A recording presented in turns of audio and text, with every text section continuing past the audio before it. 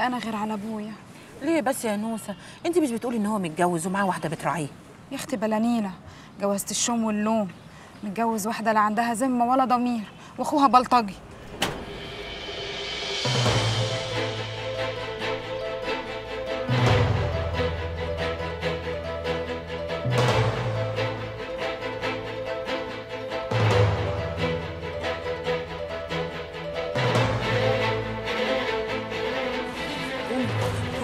نوسه مش عايزين مشاكل.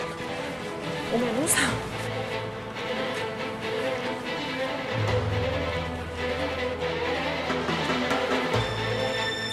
قوم يا بنت فز قوم يا بنت فز انت مش شايفة الحاجة وهيبه مش قايمة. واقوم ليه؟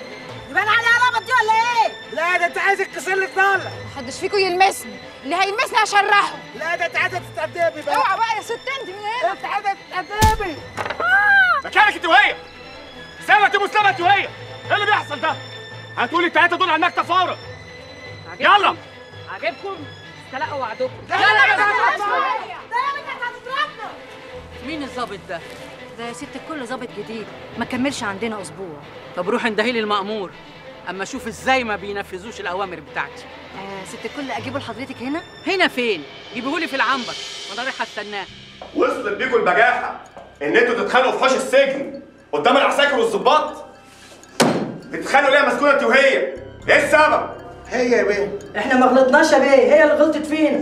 بقول لك إيه وليا انت وهي. ما تقولوا قولوا اتخانقتوا معايا ليه؟ ها؟ خانقتوا معاها ليه؟ اسألها ابدا يا بيه. أنا كنت مع فوزية وفحنا قاعدين بنتكلم. أبص ألاقي لك الاتنين دول بيجروا عليا ويشدوني عشان أقوم أقف. تقفي ليه يعني؟ أصل الرئيسة بتاعتهم كانت معدية في الحوش. وليه وليه بقى أنا قاعدة؟ ما قمتش اضرب لها تعظيم سلام. ده كل النسوان اول ما شافوا الحاجة وهيبة قاموا وقفوا. وانت يا غندور اللي على راسك ريش عشان ما تقوميش تقف. يا مسكونة انت وهي؟ إيه وهيبة دي تطلع إيه يعني؟ لازم تعرفوا ان عندي هنا القانون بيمشي على الكل. أنتوا سامعين ولا لا؟ إيه اللي بتقوله ده يا باشا؟ يعني انت عايز تجيب البنت المفروسه دي؟ الحاجة وهيبة الجرحي. دي الحاجة وهيبة الجرحي. بيتهزلي عشان ابات البلد. والنبي يا بيه ما تودينا في داهية الله يخليك. إلزام حدودك. لأن أقسم بالله لارميكم أنتوا الاتنين في الحبس الانفرادي. سامعين؟ وهي الحاجة وهيبة هتسيبنا بقى بره لوحدنا. ده كان غيرك اشر يا باشا. بس خلاص أنتوا وهي ما اسمعش نفس واحدة فيكم. مرزوق تحت أمرك ساعتك يا فندم. روح انت يا باشا الجانب. تحت أمرك يا فندم. استنى. بقى أيوه يا فندم. انت الجرح بتاعك عامل إزاي؟ جامد؟ أنا كاتماه بالمنديل ترجع تاخدها توديها المستشفى. تحت أمر معاليك يا فندم. اما أنتوا الاثنين بقى أنا هعرفكم مين هو شريف الشيني أنا هعلمكم ان القانون بيمشي من اصغر واحد لاكبر واحد. اجمع ياد منك ليه؟ اجمع كل اللي في الخيمة. عرفت مين السبب في حبس نوسة؟ مين السبع البرومبا؟ انت واتكلم قول لي مين. قول يا خربوش قول. قول لنا مين علشان اطبع في زمارة رقبته واقعد ازمر فيها. الباشا الكبير ابو الباش مهندس. يا خرابي الباشا ذات نفسه ابو الباشمهندس يلا يا سمشمش يا حموي روح امسك بقى في زمارة رقبتك. ولا هي بنجره بوق وخلاص. الله جرايه يا جمالات؟ ما هو أخوكي لازم يقول كده. عاوز يدبس الباشمهندس في أي حاجة وخلاص. طب قول لنا يا خربوش لو أنت صادق صحيح أنت عرفت منين؟ يا ابدا كنت قاعد على القهوة بصيت لقيت واحد ماشي كده من الأربعة اللي شهدوا على البت نوسة رحت قايم طبق في زمارة رقبته الله أكبر عليك خمسة وخميسة. بسم الله ما شاء الله ما يجيبها إلا رجالها مش أنتوا يا بقر؟ وبعدين يا اخويا إيه اللي حصل؟ اللي حصل وصل رحت فارد عليه المطوة ومثبته كنت عايز اذبح له رقبته. آه والله. طلع مارة قال لي فتولك في عرضك. بس رجليا في السوق. وبعدين قر قال ان الباشا الكبير هو اللي وزه هو والتلات التانيين يشهدوا على البت نوسة. آه عشان يحبسها. طبعا. ما هي المصايب ما تجيش إلا من الحبايب بدل اللوكلوك اللي أنت عامل تلوك فيه ده سبته طار من إيدك ليه؟ ويطير أعمل بيه إيه يعني؟ عايز اصور جنبه؟ لا يا حبيبي حوله على البوليس على النيابة عشان يعترف يا سلام طب والثلاثه التانيين هيجيبهم منين يا فالح ولو كان مسكه كان اعترف على الباقيين أنا شايف إن أنتوا بتهلفطوا وبتحرقوا جاز كتير على الفاضي خاصة الأخ الشرس ده ها؟ قصدي يعني اهدى بالله. آه، يعني أنت مين ضمنك إن هم لو اتمسكوا كانوا هيقروا ويعترفوا وبعدين دول ناس غلابة على قد حالهم. يا مولاي كيف خلقتني. هيعترفوا على مين؟ على الباشا الكبير. لو ما تعكموا لهم قرشين خيطوا بقهم بالخيط والابره ولو راحوا لاسم نفسه هناك مش هيفتحوا بقهم ولا يتكلموا. هيتكلموا على الباشا. اخويا خربوش وانت يا اخويا بتقرر الراجل ده يعني؟ ما عرفتش منه نوسه مسجونة في انهي سجن؟ وأنا كنت في إيه ولا في إيه؟ بقول لك حطيت له المطوه كنت عايز اذبحه. طب رقبته هو اخويا دي رقبتي أنا. وقط على رجلي بص. سيد يلا كل واحد يروح على شغله. يلا! اتفضل يا فندم. إيه اللي حصل يا ست الكل؟ إيه اللي بيحصل في السجن ده يا حضرة المأمور؟ بأخرج النهاردة أتمشى شوية في الحوش. يقوم يفور دمي. معاش ولا كان اللي يفور دمك أهو عندك اللي فور دمي. قولي لي مين وشوف أنا هعمل إيه؟ واد ظابط بيقولوا عليه مستجد. حبس اتنين من البنات بتوعي علشان خاطر حتة بت ما تسواش. مش هو ده الظابط اللي كلمتني عنه؟ معلش سامحينا. المثل بيقول اللي ما يعرفك يجهلك مع إني لفت نظرة واديته فكرة. كان لازم تفهمه مين هي وهيبة الجرحي وأنت بتسلمه الشغل. معاكي حق. الغلطة دي عندي أنا. سامحيني عليها. هو اسمه شريف مش كده؟ ده يا ستي ظابط مشاغب. أظن إن أنا كلمتك عنه قبل كده. كل ما يروح مكان ينقلوه. من يوم ما اتخرج وتعين وكل الرؤساء محدش طايق يخليه عنده. سمعته اطرام في الوزارة. آه وسايبينه هنا علشان يفور دمي. ده لازم يرفدوه. ما هو من الناحية القانونية ما بيعملش حاجة غلط. ومحدش قادر يمسك عليه حاجة. ولو رفضوه هروح جرايد المعارضة يعمل مشاكل. واللي بيعمله معايا ده ما هوش غلط؟ الغلط مردود يا ست هانم. الغلط مردود. عن اذنك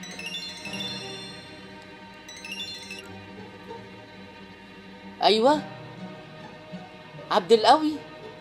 إزيك؟ وازاي الأولاد. أنا كويس. وكله بفضلك.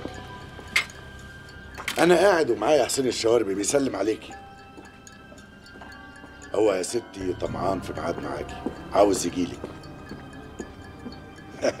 وهو يعني وراه إيه اليومين دول غير موضوع الانتخابات؟ الحقيقة الواحد مش عارف يودي جمايلك فين. لا لا لا خلاص. ألف ألف شكر. هو بيشكرك كتير قوي. لا لا لا ومستعد لكل طلباتك. تحت أمرك. مع السلامة يا حاجة وهيب. آه قالت لك إيه؟ حددت لك ميعاد يوم الثلاث مش اللي جاي اللي بعديه الساعة واحدة ونص. سلام. ده ميعاد بعيد قوي. بعيد إيه؟ ده لولا المحبة اللي بيني وبينها ما كانتش اديت لك ميعاد قبل شهر. انت فاكر انها فاضية؟ لك طيب اتفضل. ابوكي بيشتكي منك يا منى. أنا يا طنط؟ أيوه. كده برضو تحرجيه قدام المحافظ اللي عندكم. وترفضي تتجوزي ابنه؟ بصراحة يا طنط لسه خارجة من موضوع كده وتعبني يعني. إيه بقى؟ أنت بتحبي واحد. وسابك لا أنا اللي مش عاوزة أكمل. الله دي إيه حكايتك يا منى. كل شوية ترفضي عرسان. ما هو أنا لسه ما لقيتش الشخص المناسب. هو إيه بقى هو الشخص المناسب؟ اللي يعني يبقى شخصيته أقوى مني؟ ليه كده؟ هو أنت كنت شفتي ابن المحافظ ولا عايزة أشوفه لأن أنا حاسة إن جوازي منه صفقة بين بابي وباباه. طب وإيه المشكلة بقى؟ كل الجوازات الكويسة دلوقتي بتبقى بالشكل ده.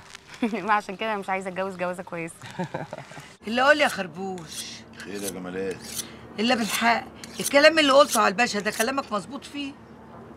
إن شاء الله قدامك يا أختي. كل كلمة طلعت من حنكي صح. يا أخويا الله أكبر. إن شاء الله تعدم حسن كفتة.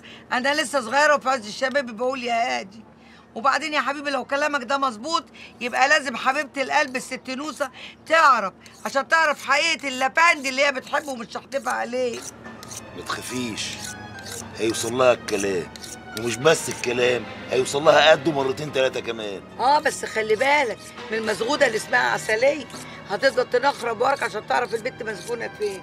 أيوه ما هي متعكمه لها قرشين من الباشمهندس. تتجسس بيهم. هنعمل إيه؟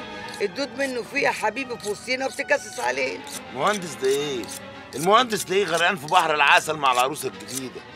سيبني في الخيمة دي لوحدي. يا سي شريف هنبتدي وجع القلب بقى ولا إيه؟ إيه يا فندم في إيه؟ مالك ومال الحاج وهيب؟ مفيش أي حاجة بيني وبين الحاج وهيب ده أنا يمكن أول مرة أشوفها إمبارح. تقوم النهارده تحبس اتنين من النسوان بتوعها وحبس انفرادي. يا فندم الاتنين دول بالذات في منتهى قلة الأدب. دول كانوا بيعاملوني ولا كأني الظابط بتاعهم. وبعدين يعني بعد إذن سيادتك لازم يكون في ظبط وربط هنا في السجن. كل ده عشان ضربوا البنت اللي اسمها نوسة. هي إيه؟ البنت عاجباك ولا إيه؟ بعد إذنك يا فندم أنا مش من النوع ده خالص. بعدين مش أنا اللي أفرق بين سجينة والتانية ولا دي أحلى من دي؟ الموضوع كله إن هم اتهجموا عليها فتحوا لها راسها وأنا أمرت إنها تروح المستشفى. بس على كده. يبقى الموضوع انتهى. ليه بقى نزعل الحاجة وهيبة؟ روح طلع البنتين اللي في الحبس الانفرادي وريحنا من وجع الدماغ ده. آسف يا فندم. يعني إيه آسف؟ يعني اللي غلط يا فندم لازم ياخد جزاؤه يا ابني أنت اللي هتاخد جزائك. أنت ما تعرفش بيه الحاجة وهيبة الجرحي دي ست واصله قوي. مش أي واحدة. يعني لو رضيت عنك هتطلعك سبع سما. لو غضبت عليك هتنزلك سبع أرض. ولا يا فندم. حتى لو سيادتك اللي بتقول عليه ده حقيقي. القانون لازم ياخد مجراه ويطبق. لأن يا فندم آه، ما يبقالناش لازمة هنا بقى في السجن. ما تحبكهاش قوي بقى يا شريف. انت الملف بتاعك ما يعلم بيه إلا ربنا. أنا آسف يا فندم ومش هتراجع عن موقفي. آسف. طب إيه رأيك؟ أنا بأمرك. سيادتك ممكن تعمل اللي أنت عايزه. لكن أنا؟ أنا عملت واجبي اللي يحتم عليا ضميري إن أنا أعمله. اتفضل. اتفضل وأنا هتصرف. بعد إذنك يا فندم. أنا مش عارف إيه الظباط دي. ظباط آخر زمن.